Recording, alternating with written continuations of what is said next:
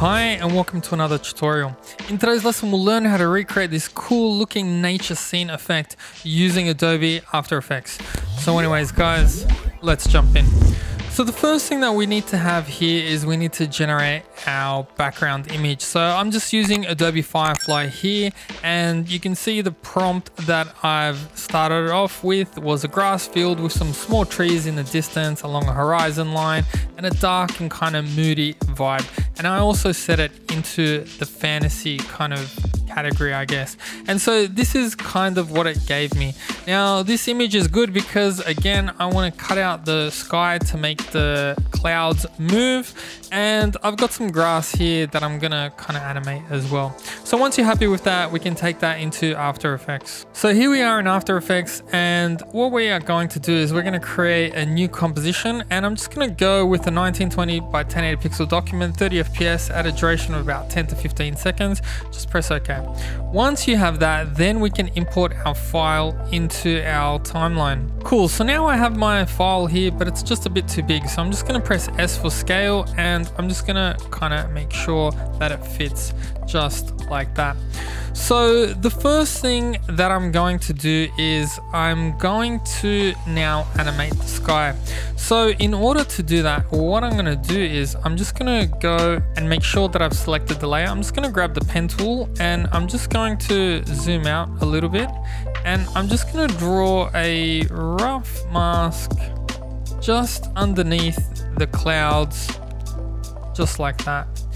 So now I have that ready to go. And what I'm going to do is I'm going to press F for feather and I'm going to increase that feather to probably around about 50. And then what I'm going to do is I'm going to duplicate that. And on that duplication of the layer, I'm just going to delete the mask. So I have the mask still set on this uh, layer over here. So this is going to be my background and uh, this is going to be my sky.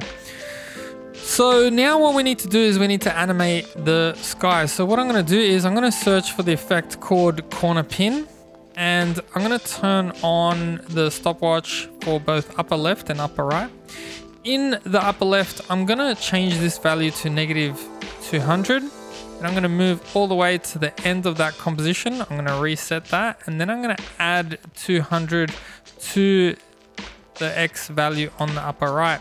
And so now if you've done that correctly, now you will have the sky moving like that. And that looks pretty cool. And if you need to go into the feather and adjust it any more or any less, you can.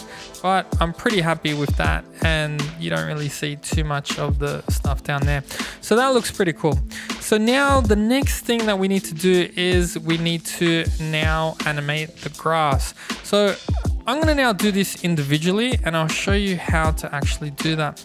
So I'm just gonna create a duplicate uh, of the background layer and I'm gonna call it grass. And then what I'm gonna do is I'm just gonna grab the pen tool and I'm going to draw a rough mask that goes around this section of the grass just like that. And then what I'm gonna do is I'm gonna press F for feather. I'm gonna increase that to about 150 and that just kind of softens that. And then what I'm gonna do is I'm gonna search for the effect called turbulent displace. You can already see what's happening here. The grass is now going a little bit wavy. I'm gonna change some of these values. So the amount I'm gonna change to, let's say about 15. The size, probably about 20. So you don't want it to go too much. And then the complexity, let's bring that up to about four. And then what I'm gonna do is I'm gonna hold option, click on that stopwatch and write time times, let's say for this one, we'll do it 500. Okay. And now you can see that the grass is kind of wobbling as well. And that looks pretty cool. Now, if you have to go back in and uh, change the mask. So for example, if you want to just move some of these points around, you can, and then you can get it to however you like.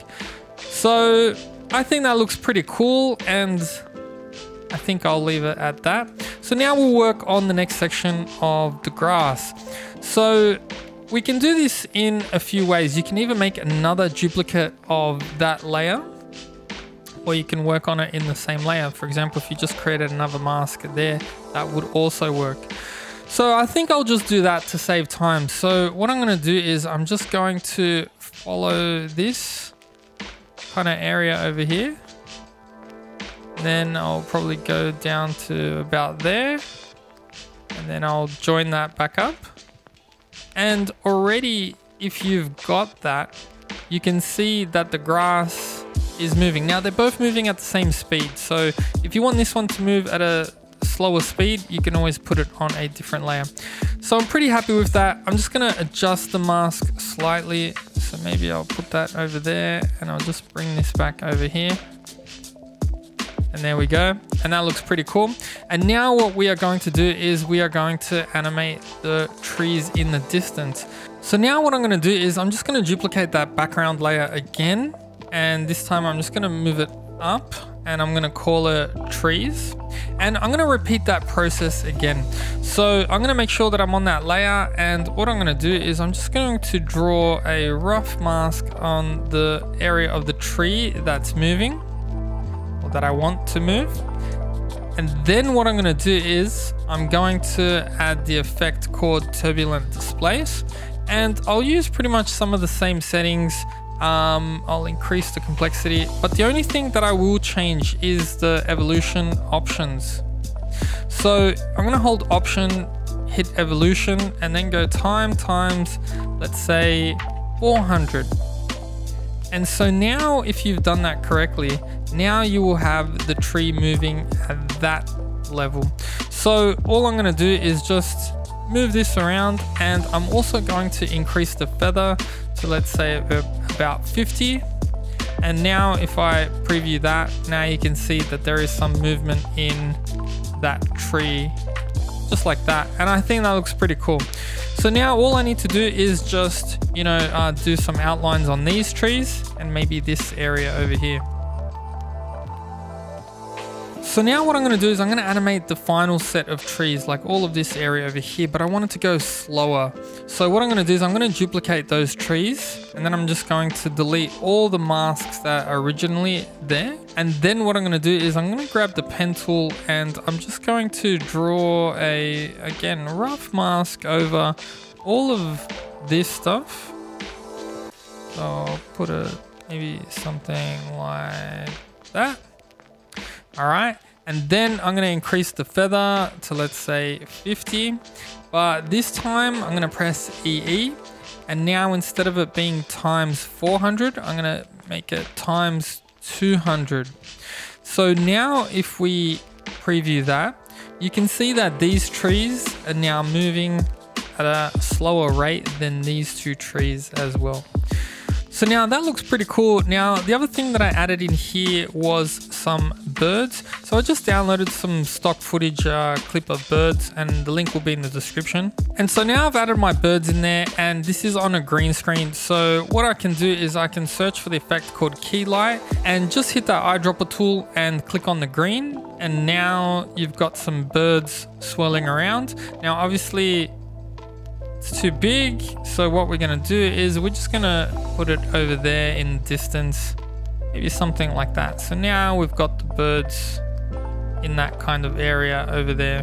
Cool, so now we have the birds in the scene, so that's looking pretty cool. So the last thing that I did here was I just pre-composed all of this. So if I went up to layer, pre-compose, and I'll just call it scene, make sure you move all the attributes. I added a scale in effect. So all I did is I pressed S for scale, hit that stopwatch, move to the end of the composition and then just go to let's say 110 and now that will kind of zoom in. So that looks pretty cool. The other thing that I did was I added an adjustment layer and inside the adjustment layer I added some Lumetri color and then I went down to creative and I chose our SL Gold Rush and you can play around with the intensity of this so maybe I'll bring it to about 48 and you can see the difference that it has. And the final thing that I added here was another adjustment layer just with some noise.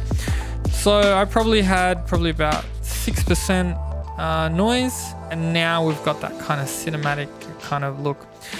So yeah, so that's about it for this short tutorial. Um, thanks for watching. I hope you guys learned something and I'll see you guys in the next video.